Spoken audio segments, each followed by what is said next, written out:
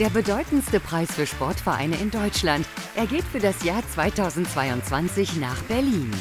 Bundespräsident Frank-Walter Steinmeier zeichnet den Verein FC Internationale Berlin 1980 als Bundessieger der Sterne des Sports für sein besonderes gesellschaftliches Engagement aus.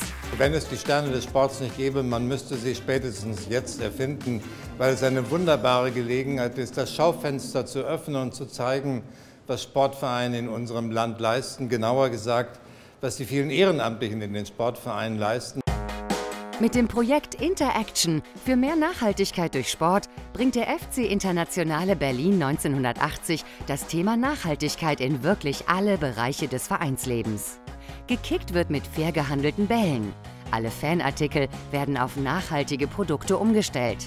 Alte Trikots werden in einer Upcycling-Nähwerkstatt zu neuen Schmuckstücken.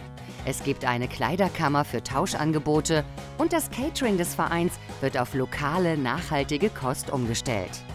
Seit 2021 ist der Verein der erste nachhaltig zertifizierte Amateurverein Deutschlands und hat das Thema Nachhaltigkeit fest in seiner Vereinssatzung verankert.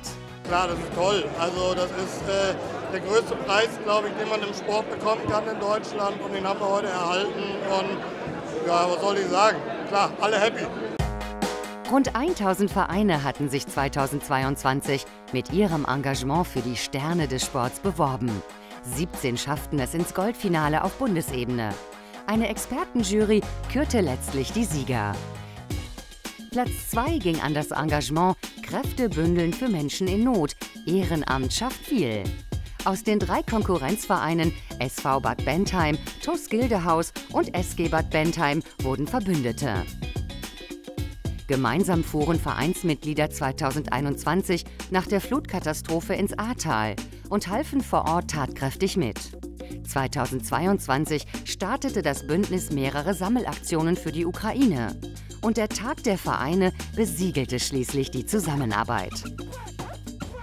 Über Rang 3 freut sich der Verein FSV Großkreuz für sein Engagement Sportverein im Wandel. Vom kriselnden Einspartenverein zum Sportverein für die ganze Familie. Starkes Mitgliederwachstum trotz Corona.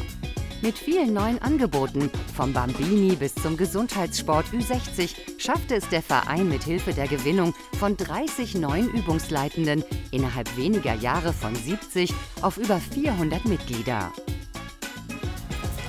Zum insgesamt 19. Mal haben der Deutsche Olympische Sportbund und die Volksbanken Raiffeisenbanken mit den Sternen des Sports das gesellschaftliche Engagement von Sportvereinen gewürdigt. Der Wettbewerb gilt als der wichtigste im deutschen Vereinssport. Es ist immer wieder toll zu sehen über die Jahre, mit welcher Kreativität die Vereine Themen aufgreifen, die gerade auch aktuell sind in Zeiten der Pandemie wieder Kinder zu bewegen, ältere Menschen auch aus der Einsamkeit herauszuführen, jetzt das Thema Nachhaltigkeit mit aufgegriffen zu haben, vorher auch nochmal das Thema Flüchtlinge. Insofern das ganze Spektrum auch unserer gesellschaftlichen heutigen Herausforderungen wird immer wieder auch durch den Breitensport aufgegriffen und dafür können wir alle nur dankbar sein. Und das ist wirklich enorm, was diese Leute leisten, wie die die Kinder begeistern, aber eben auch Senioren und Seniorinnen. Und von daher ist das eine ganz wichtige Veranstaltung als Leuchtturm für andere. Seit 2004 loben DOSB und die Volksbanken Raiffeisenbanken die Sterne des Sports aus. Mehr als 8 Millionen Euro an Förderung sind seitdem an die teilnehmenden Vereine geflossen. Der FC Internationale Berlin 1980 erhält für seinen Sieg 10.000 Euro. Und der nächste Wettbewerb hat bereits begonnen.